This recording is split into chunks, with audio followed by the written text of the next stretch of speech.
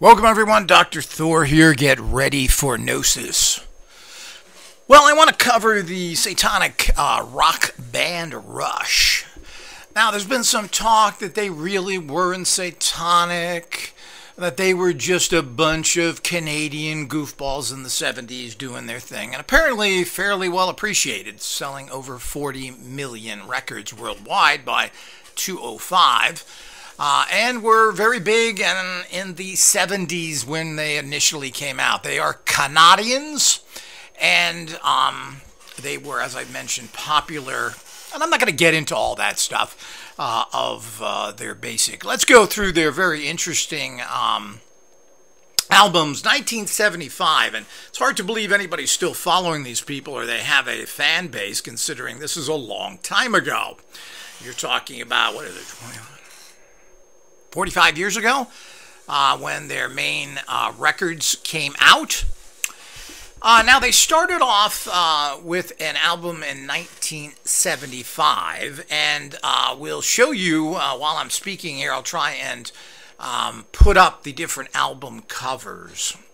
But Fly By Night was their major album. And, you know, they claim to be philosophers.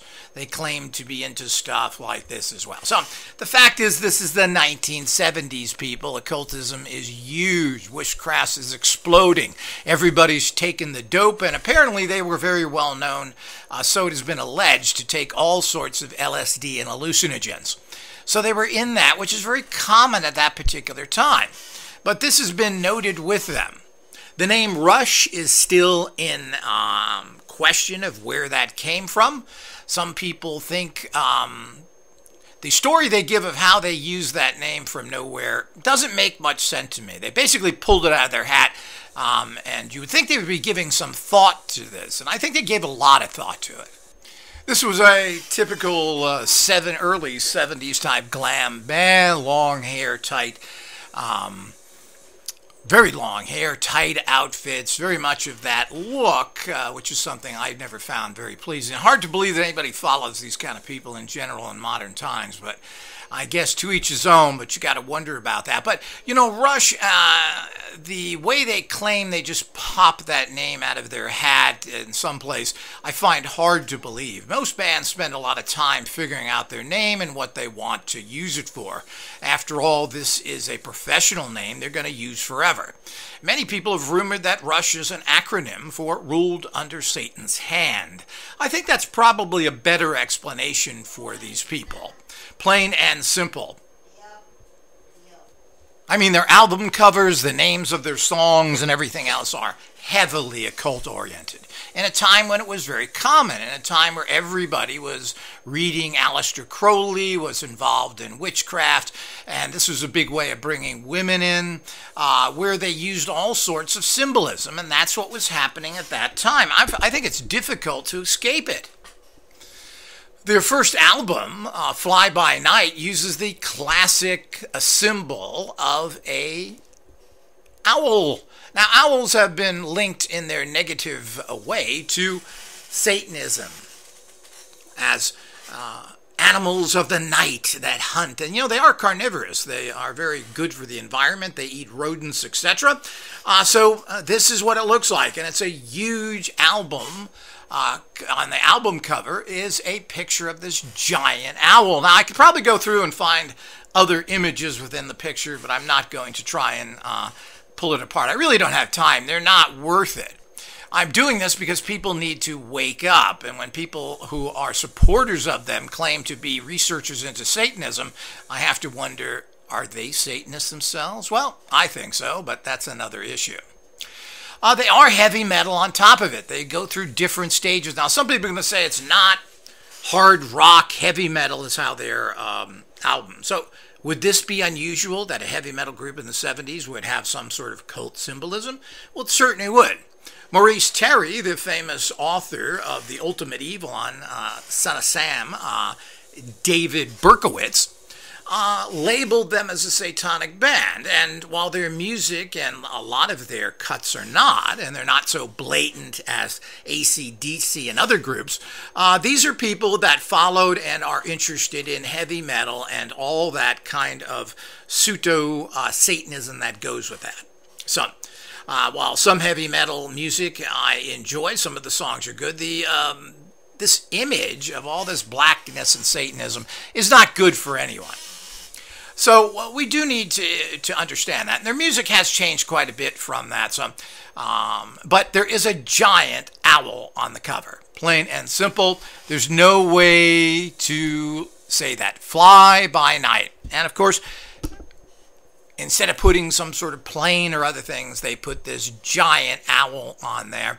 And there are other birds that fly by the night. Why are they using an owl? Well, they have used different people to make their covers. One of uh, they used often. Um, and we need to look into this to whatever degree you care. As I said, I don't really consider this all that important, but people should know. Uh, because there's a lot of aspects here that are just so blatant because it doesn't some people don't think they are well how about a little song called necro necrocon And of course, uh, let me correct that. The necromancer. That's not a con, a cult whatsoever. Well, a necromancer is someone uh, who is a wizard who calls up and uses the dead.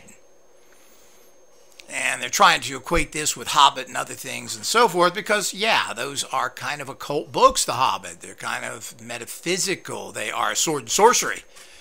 So, um, necromancy is a type of divination involved in the summoning of spirits of the deceased. Oh, that isn't very cool, right? I mean, these are the one of the things that are condemned by those people who are against it. And of course, that's what their second album called Caress of Steel, one of the title album, one of the title tracks of it. Well, I mean, it's pretty blatant here. Now, not only that, if you look at the actual um, album cover, and again, we're going to hopefully post these here so you can see them. Um, there is a necromancer on there. This is a wizard calling up the spirits of the dead. Oh, is that Disney? Are we talking about regular stuff here?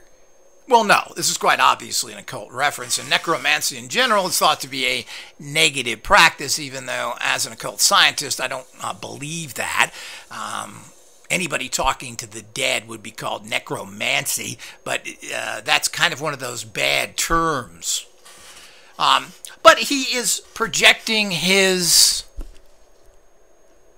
uh, what is floating in front of him. Let's see if I can, if I can get this up a little uh, stronger or a little larger to look at it a little better. Well, the album is a clear example of a necromancer facing with his uh, facing a hovering pyramidal type structure is what it looks like, and he's got his left arm tucked in again, showing mostly the left arm of the left hand path. Now, floating in front of him is this kind of pyramid thing, but oddly enough, uh, there is a actual inverted cross coming down from one of the edges of the pyramids. Now, it's not crystal clear, but it looks to me like the uh, an inverted cross. It's pretty clear. He's a necromancer. This is a album that is based on this and these kind of occult practices. So here we go again. This album cover is loaded with occult symbolism from all over. I could go into many things. I'm not going to bother spending hours and hours on these numbnuts that are nothing and uh, are basically more than one of these glam bands from the 70s. Um, so that's their album as well. We can go to their other album, which is one of their more curious ones as well, 2112. Now, why would you use that? What does 2112 mean? Now, on the cover, we have a flaming pentagram in the correct side up, meaning it's not satanic, but it has a circle around it. So you're pretty much saying that this is not a star. Stars don't have circles around them. You know, I've seen stars on so many different advertisements. You know, a lot of these goofballs that get tattoos. I'm going to get a star. I've never seen a star tattooed on anybody with a circle around it, unless it was some sort of occult meeting. So, and it's also been stated that the reason why um, there would be um, this came out this way is because the person who uh, printed this didn't understand that it was supposed to go inverted instead of in the position here. So that's some of the talk we just don't know. Uh, also on this album, the anthem song has backward masked uh, messages in it, which is interesting if you want to give that credit or not. I tend to give it credit, but it could be a weird anomaly.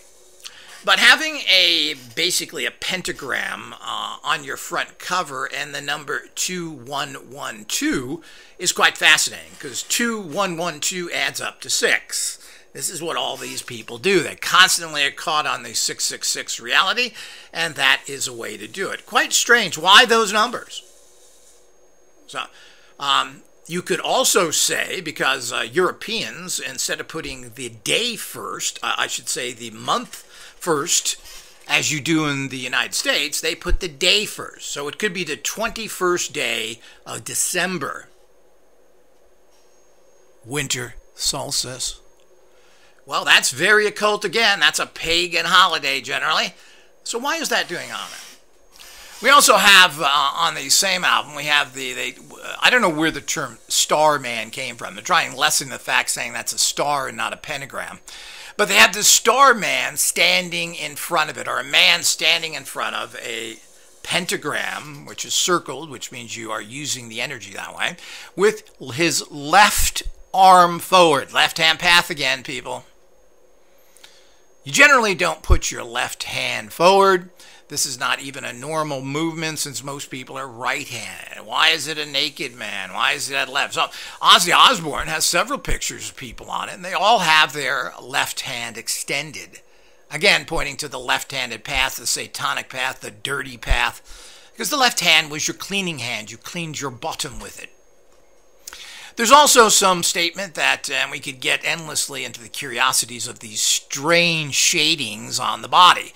Well, why is the body shaded in that fact, fashion? Well, there does seem to be some sort of images in there, and I'll let you play with that yourself, but again, it's a very odd. Why is there shading on this guy, period? Why isn't this just a nude guy? It's not the shading doesn't cover anything up. Matter of fact, it makes it kind of look odd. So here again, very, very occult. But there is a kicker to all this, people, so make sure you stay tuned to me because there is an out and out satanic symbol on their record that is irrefutable. So uh, we have that. So we've got right now um, the 2112 album. We have the Fly By Night. We have the Caresses. Three of their albums. They made many very overt occult symbolism in it, which I feel is irrefutable. And there are other album covers, and they keep putting in this 2113, which is basically 9 uh, or 12, uh, 912, and it's on clocks and other. They keep using that, so that moves us away from the winter solstice back to the number 6. Um, they had uh, one of the artists that did a lot of their covers, I don't know how many, but it maybe the majority is a Hugh Syme. S Y M E, however that's pronounced. Um, he did a lot of these covers, and that cover, moving, um, what is it, moving pictures cover, has a very blatant image of Satan in flames looking up at a cross. you know how this how they can deny their code. Of course, the band themselves has denied that they are Satanists and blame everybody else but themselves. Um, usual story here. They're not going to come out and say that, particularly probably at that time, and particularly with so many other aspects. So, um, at that particular time. So we don't know, but they're certainly putting out these kind of very blatant symbols that are not positive. Uh, what is a devil in flames looking up at a cross mean? Uh, you know, we know what owls mean. We know what uh, 2112 means, flaming pentagrams. Very strange. Moving picture albums is very, very strange. And I could go through each and every one of these and probably find some reference. They also seem to have owls in most of their album covers. Now, why is that? Now, as much as we may think owls are positive, in the occult world, most owls are kind of looked down upon. Um, time stands still. We have that 2112 on the clock. So, uh, it, very, very interesting. So we have um, the Clockwork Angels, which uh, has a whole bunch of alchemy Kimball uh, symbols, and of course the the covers change. But I'm going to put that up as the main thing. Alchemists were occultists. So Clockwork angels, and they're even talking angels. What does that mean? It has alchemy symbols, and most of these are satanic. a matter of fact, the top symbol to the right, which is how people look, you look at the center of something and then you start moving to the right because that's how you read, has the symbol of the devil on it. The brimstone symbol. It's equated directly with Satan. So the um, Clockwork Angels album check that out. I don't see how we can possibly refute uh, that these guys uh, were putting that in there. So there's a constant um, uh, reference to these things. And um, I'm sure I could find all sorts of other things, but I'm not going to spend hours and hours going over this. But, you know, it's pretty confirmed. What confirmed me is I looked at all this stuff and just go, eh, I don't know. 2112, that could mean something else. It doesn't, what it mean, you know, adding it together. But that's what you generally do. That's how numerology works. You add the numbers together. 2 and 1 is 3. 3 and 1 is 4. 4 and 2 is 6. This is what you do in numerology. Certainly, guys that are into alchemy and all this other stuff would certainly be able to notice that. So, uh, they certainly would know that. And I don't know how this Hugh Syme character um, knows or not. But and also the Caress of Steel is kind of quite an obvious that there's hovering pyramid with a inverted cross on it. Now you may like their music, you may think it's okay, whatever it may be, but you know these are very, very blatant symbols, including, of course, um, the floating cross. There's another album with actually uh, the the same guy on it. Um, who's uh, standing on, I'm, I'm, trying to get this individual here. Uh, he's got the same position. He's pointing his left hand out. Now, you normally don't point with your left hand. That's only if you're left handed or on the left handed path, the satanic path. So, I mean, all of this stuff is pretty blatant. Now, whether they're hardcore blades, whether they played with this because they were stoned out of their mind taking hallucinogens or the influence from this other person, we just don't know. Uh, all these things are uh, up in the air because these kind of people don't like to come out and talk about it, and they're not going to readily admit it. Uh, that's just the way they are. But there certainly is a lot. But what does all that mean? Well, what it comes down to is their last album when they went on their last tour. I think they announced to everybody who they were and what it was about. So it's very, very clear on the Clockwork, uh, Clockwork uh, Angels album, which has a clock there, and um, it has what they claim alchemy, alchemical symbols. I'm not sure these are all chemical. I'm not going to look them up, but they kind of do. I mean, there are thousands of alchemical symbols. Why are they using the brimstone one?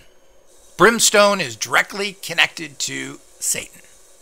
They also have a whole bunch of other symbols on there, which conveniently have what appears to be upside down crosses on them. Now, inverted crosses. Now, this may have been something that was commonly used in alchemy, and I'm assuming these are legitimate alchemical symbols. As I said, there's so many of them, and they're so diverse. You know, what's an alchemical symbol? Well, there are some standard ones because they recommended elements. Now, brimstone, which is now sulfur, is what it's called. They used to call it brimstone, and it is associated with uh, the burning sulfuric fires of hell. And it's not at the top because you know when you look at something, your eye, if you're looking at a clock, your your your eyes tend to go to where the hands are, but they also drift up because you have to look where the hands position. So you start at the top and they go to the right, like we're all trained to. So what is the first image to the right? It's sulfur, brimstone. And Satanists wear and use this symbol all the time as a way of denoting Satan. Oh, that's right. Doesn't mean nothing, right? Doesn't mean anything in the bigger picture, does it? No. Yes, it does. This is not an error. This guy who designed this, this you guy, knew exactly what he was doing. And it's very interesting that so many of these symbols have uh, what look like inverted crosses on them. Now, that's not technically what they are, but that's how you use things. You use these kind of crossy things to um, get your picture across. And there's, let's see, things that have crosses in it one, two, three, four, five, six, seven. You could even say eight. That's almost all of these uh, are, have it. So you're looking at eight out of um, out of the full clock face there which I'm not sure how many there are total there. What is that, 10, 12, whatever it is. Um, the whole idea is that um, very interesting that this would be their farewell album, and they have this alchemicals, and we're so alchemical about them. Why is they? Why are they using these alchemical things if they're not really a cult? Why are they having a song with a necromancer? Why is the fact that they're um, uh, Caress of Steel album has a necromancer on the front of it. And if that isn't enough, which are considered evil practitioners, um, there's a floating pyramidal type object in front of him that has an inverted cross on it. Not only that, which is even the kicker of all the kickers of this, is the fact that um, the Rush name on Rush Clark uh, Clockwork Angels, the U in Rush has a series of inverted crosses going down from it, trying to form a alchemical symbol. Hmm. Well, not really. They're just stating that they are Satanists and always have been. So, you need to know your symbolism, people. You need to know what's going on. And if you're going to be involved in something and claim that you're anti these things, uh, well, I think it's very comical that someone would be claimed that they're anti-satanic when they're following a satanic group. Um, or are they? Are these people really anti-Satanists or are they actually Satanists? So I think we need to look at the fact that we can't allow ignorant people to give us information and tell us something else. But this is just the study of the entire rock and roll industry, which has been linked, uh, even the more pop stars have all been linked uh, to these kind of symbols that are put out there. And, you know, it takes such an educated person to do stuff like this, such a person of knowledge to put together symbols and rituals that there's no way that this could possibly be a coincidence. They are these things are highly planned out, highly written by very uh, devious, evil, and uh, pseudo intelligent people who have put all this stuff together. And if you allow yourself to be a dupe, I can't believe that. They know what's being pet on these albums. They know the symbolism, which is throughout, and they're using owls and all sorts of other things that are linked to this. They know very well and why would you use 2113, which seems to be something that they keep telling you? Because in Clockwork Angels, this alchemical pseudo clock here is set on that same number. So this is something they keep pushing all the time. So are they trying to tell us winter solstice? I don't think so. They're trying to say 666. That's what Rush is all about. You may like their music. You may like to dress up like these uh, bizarre looking freaks. Um, it's up to you. But you should know what these are. You should know what these images are. A flaming pentagram with encircled is an occult symbol. There's no way to think anything of it except that. Now, people don't have to do like Ozzy Osbourne and everybody else does, wearing 666, screaming the devil's name. That doesn't necessarily, in any way, mean that they are not Satanists, that they're doing things at a lesser level. But there's no way that you can possibly um, think differently if you have any knowledge. They're always facing with the left arm and hand forward, emphasizing the left hand path. And as I said, the actual caress of steel I mean, it looks like an inverted cross on that energy structure, that pyramidal type structure. I mean, it's hard not to see an inverted cross there. And what is that? So you're just not going to put an inverted cross there because that's going to probably lose you money.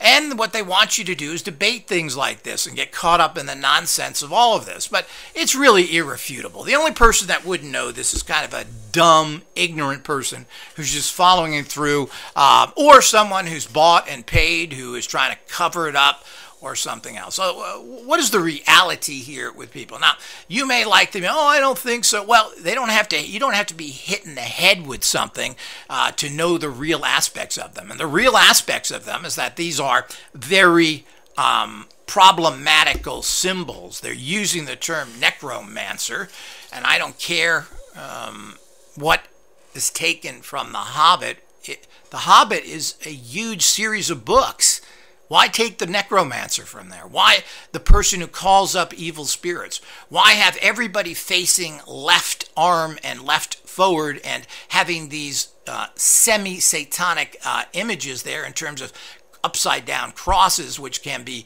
interpreted in different ways. Well, I'll tell you right now, deliberately these things were chosen, and they deliberately want to argue the fact, oh, that's not pointing with your left arm constantly. All of them do it. And as I said, this is like this is found in many other satanic albums where you'll see people on there pointing with their left arm or hand, the left hand path.